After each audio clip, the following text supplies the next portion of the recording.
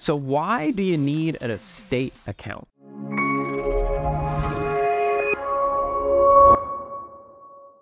Hey guys, this is Brad from probateresource.com. We're a real estate solutions company. We specialize in the world of probate and inheritance properties.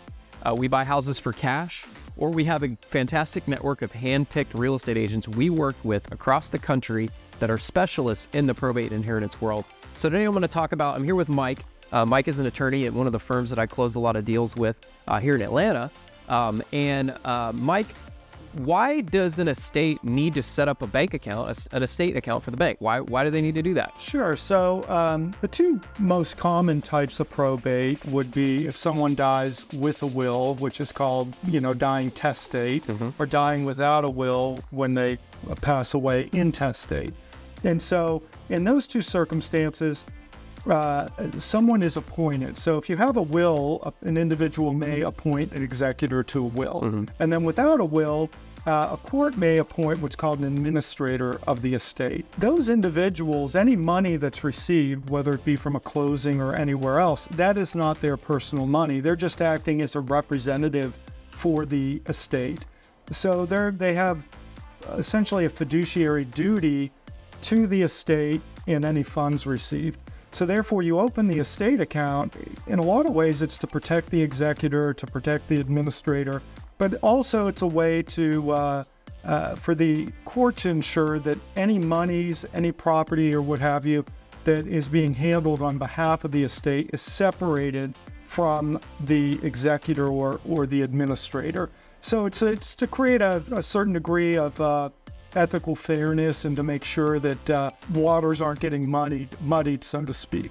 So as, as opposed to an executor putting the money in their own personal bank account, they have that separate bank account, the money goes in there, and then any bills that need to get paid, any debts that need to be taken care of, it's all drawn out of the uh, estate account. Great explanation. Yet, more times than not, obviously, I've been doing these types of deals for a number of years, and one of the things we always let people know ahead of time is ha- have you set up an estate account yet? Uh, because if not, when you get to the closing table, this money has to be wired or a check has to be made out to the estate. It can't be made out to you individually even if there's only one heir to the estate, maybe there's only one sole heir, it still has to go to the estate account before it can be dispersed out to the heirs of the estate. Um, and in some cases, obviously, there might be creditors to an estate, and that money needs has to go to the creditors before the heirs can even get any money from it. Um, setting up an estate account is actually really easy. I have another video on how to do it. You just need to go to irs.gov and obtain an EIN. I know you guys help people do it all the time. Super simple. Pretty much any bank out there can set up an estate account for you. Uh, you just need that EIN and you just need to have your, your probate documents from the probate court that just says like, hey, I'm John Smith, I'm the representative of the estate. I can open up the account for the estate. And if you have those two things, pretty much any bank can open an estate account for you. I appreciate you guys checking out this video. Uh, if you have a property that you need to sell, uh, we do buy properties for cash. We can make an easy, fast cash offer. Um, or if you want to go the traditional route, you feel like you want to maximize every last dollar out of that property, uh, we do have a hand-picked network of real estate agents that we work with all across the country uh, that can help you sell your estate property. They specialize in the probate and inheritance world, so they know what they're doing.